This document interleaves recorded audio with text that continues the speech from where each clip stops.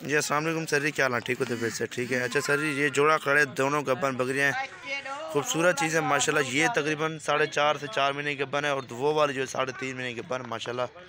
दोनों गब्बन बकरियाँ राजनपुरी, प्योर तोता फेस, ओरिजिनल चीज़ में, माशाल्लाह। दोनों के हवाना भी आप चेक कर लें, इसका भी हमारा आप देख सकते हैं, माशाल्लाह। ये बिल्कुल तैयार बकरी, तकरीबन दस से पंद्रह दिन लगी बच्चे देगी जाए और ये वाली खड़ी तकरीबन एक महीने से या डेढ़ महीना लगी बच्चे फिर ये देगी, माशाल्लाह। खूबसूरत चीज़ें दोनों, माशाल्लाह, बड़ी बकरियाँ, दोनों। दांतों में भी दोनों अच्छे अच्छे दांत हैं माशा खूबसूरत चीज़ें, लंबी बेल वाली।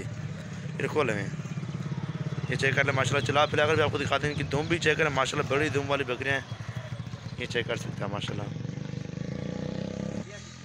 ये चेक कर लें माशा खूबसूरत तोता फेस ओरिजिनल चीज़ें ये चेक करें, इसका हवाना भी देख लें माशा बड़ा हवाना है इसका, बिल्कुल। और ये बकरी भी आप चेक कर सकते हैं, दोनों खूबसूरत चीज़ें ये चेक कर लें, माशाल्लाह। इसका हमारा भी चेक कर ले माशा तकरीबन दूध इसका कम से कम डेढ़ से दो लीटर इसका दूध होगा, माशाल्लाह, आराम से हो जाएगा।